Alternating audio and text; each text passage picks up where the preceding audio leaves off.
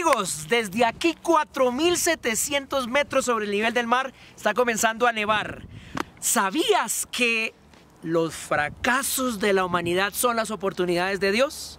Sí, en este sabías que quiero explicarte y mostrarte cómo aquella dificultad que tú estás viviendo en estos momentos puede ser la oportunidad de ese gran Dios que te ama, ese Dios que hizo este paisaje maravilloso, ese Dios que nos trae alturas de 4.700 metros y aún nuestros pulmones pueden seguir respirando. Un día leí una historia que quiero compartir con ustedes. Es la historia de aquel hombre que era portero de un prostíbulo. Este hombre durante mucho tiempo había cumplido la función de ser portero de este prostíbulo, cosa o herencia que traía de su padre, quien había sido portero, y su abuelo había sido portero del mismo prostíbulo. Un día, este prostíbulo cambió de dueño. Y al cambiar de dueño, este hombre trajo nuevas estrategias, trajo nuevas ideas. Y dentro de esas ideas quiso sacar una estadística de cuántas hombres entraban al prostíbulo cada fin de semana. Así que le dijo a este hombre, ¿sabes qué? Necesito que me saques una estadística y además de eso que hagas una encuesta, que le preguntes a aquellos usuarios de este prostíbulo qué es lo mejor y qué es lo peor para así potencializar lo bueno y arreglar lo malo había un problema. El portero del prostíbulo era analfabeta. No sabía leer ni escribir. Así que él fue sincero con el nuevo dueño y le dijo, Señor, yo no sé leer ni escribir. Así que el nuevo dueño le dijo, lo siento mucho, sé que por tradición de familia tú has trabajado acá, pero necesito a alguien que sepa leer y escribir. Así que no hubo más que despedir a este pobre portero y ahora él no sabía qué hacer, sin leer, sin escribir y sus últimos casi 20 años se habían dedicado a ser portero de este lugar. Lo liquidaron y con la liquidación él decidió salir y empezar un nuevo proyecto.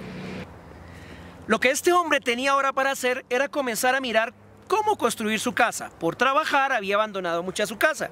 Así que se dio cuenta que necesitaba un serrucho, un martillo, clavos y en el pueblo no los vendían había un pueblo a tres horas, él decidió viajar con sus ganancias, con aquello que le liquidaron, y comprar unas herramientas para regresar a la casa y ahora reconstruir su casa en el tiempo que tenía libre.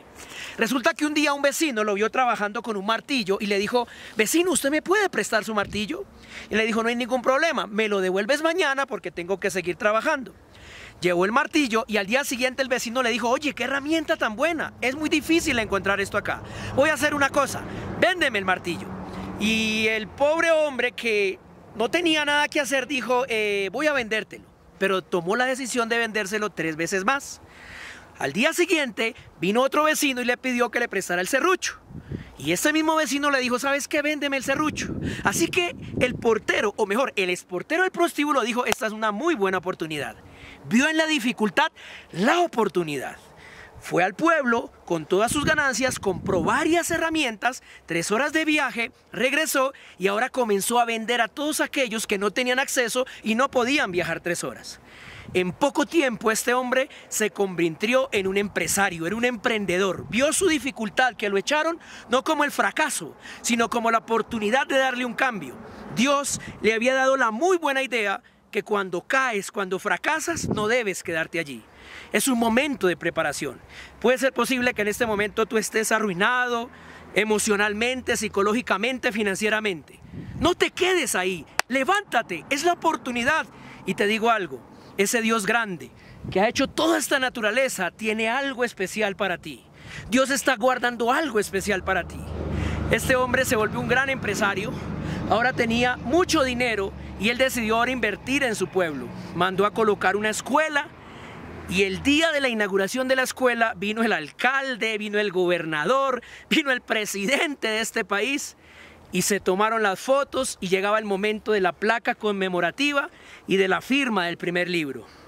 El alcalde llama ahora al hombre millonario y le dice, por favor, firma acá. Y este hombre le dice, no puedo. Y el alcalde le dice, pero ¿por qué no puedes? Le dice, no puedo porque yo soy analfabeto. No sé leer y no sé ni escribir. El alcalde se sorprendió, el gobernador, el presidente, la gente. ¿Cómo? Un hombre con tanta plata y no sabe leer y escribir. Así que el alcalde no se quedó con la duda y le dijo, oye, ¿tú todo lo que has conseguido sin leer y escribir? ¿Qué sucedería si hoy en día tú supieras leer y escribir? Y este hombre muy sarcásticamente y con sonrisa en sus labios dijo, si yo supiera leer y escribir, hoy en día seguiría siendo el portero del prostíbulo. ¿Ves? Es interesante esta historia, pero con esto tú tienes que entender que las dificultades de los seres humanos son las oportunidades para Dios. No te quedes ahí sentado, levántate, marca diferencia, tú eres un hijo de Dios y Él tiene algo especial para ti. Búscalo, Él tiene el plan maravilloso. Nos vemos en el próximo video y si quieres recibir más de estos videos de Sabías que, suscríbete por favor aquí a nuestro YouTube y a todas nuestras redes sociales y vas a seguir alimentándote. Activa la campana y comparte estos videos a personas que tú sabes están necesitando. Me despido de 4.700 metros sobre el nivel del mar, agradecidos por esta linda naturaleza. Yo me voy, pero te dejo que tú contemples un poco. Acércate, acércate un poco más y contempla la belleza. Bye bye.